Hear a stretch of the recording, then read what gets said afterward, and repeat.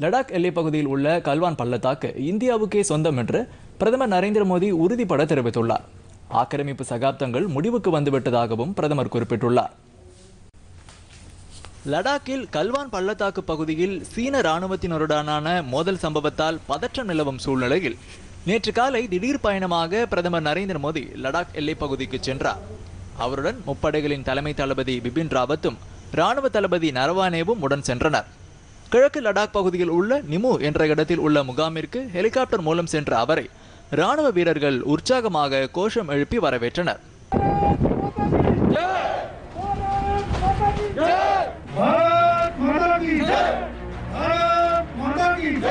भारत माता की जय भारत माता की जय भारत माता की जय கடல் மட்டத்திலிருந்து சுமார் பதினோராயிரம் அடி உயரத்தில் அமைந்துள்ள நிமு முகாம் திபத்தை ஒட்டியுள்ள கரடுமுரடான மலைப்பகுதியாகும். மோசமான வானிலை இங்கு நிலவும். இந்த முகாமில் எல்லைப் பகுதியில் நிலவும் பாதுகாப்பு குறித்தும் படைகளின் தயார் நிலை குறித்தும் பிரதமர் நரேந்திர மோடி முப்படை உயர் அதிகாரிகள் மற்றும் இந்தோ திபெத் எல்லை பாதுகாப்பு படை அதிகாரிகளுடன் ஆலோசனை நடத்தினார். பிறகு அங்குள்ள போர் வீரர்கள் நினைவிடத்தில் அஞ்சலி செலுத்திய பிரதமர் எல்லையை பாதுகாக்கும் பணியில் வீரமரணம் அடைந்த வீரர்களுக்கு மலரஞ்சலி செலுத்தினார். Thank you.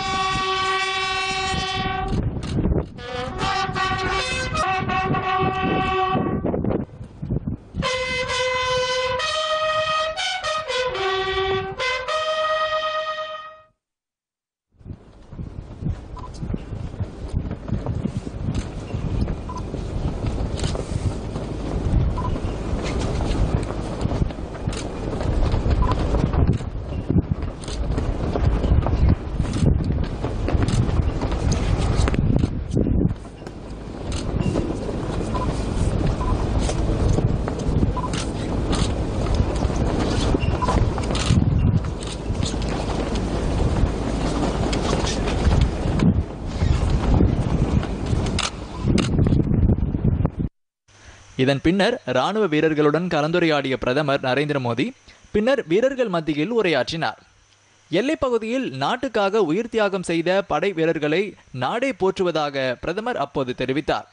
இந்திய வீரர்களின் வீரம் மற்றும் துணிச்சல் ஒவ்வொரு வீட்டிலும் தற்போது எதிரொலிப்பதாகவும் பிரதமர் குறிப்பிட்டார்.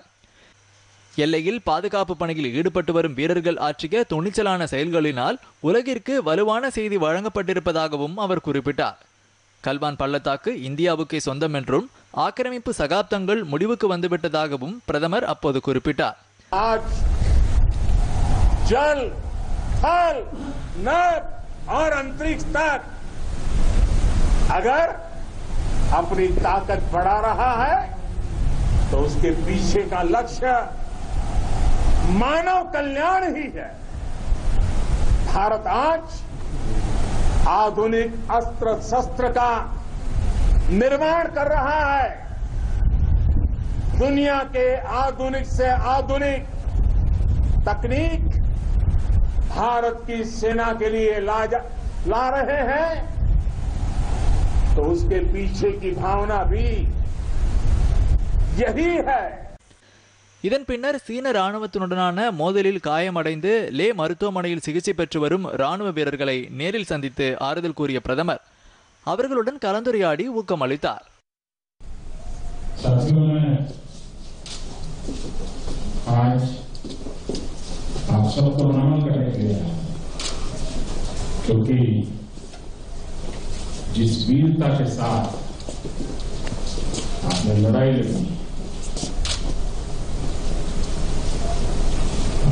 दिन पहले भी कहा था जो वीर हमें छोड़ के चले गए हैं, वे भी ऐसे ही नहीं गए आप सबने मिलकर के करारा जवाब भी दिया शायद आप घायल हैं, अस्पताल में हैं इसलिए शायद आपको अंदाज नहीं आता होगा। लेकिन 130 करोड़ देशवासी आपके प्रति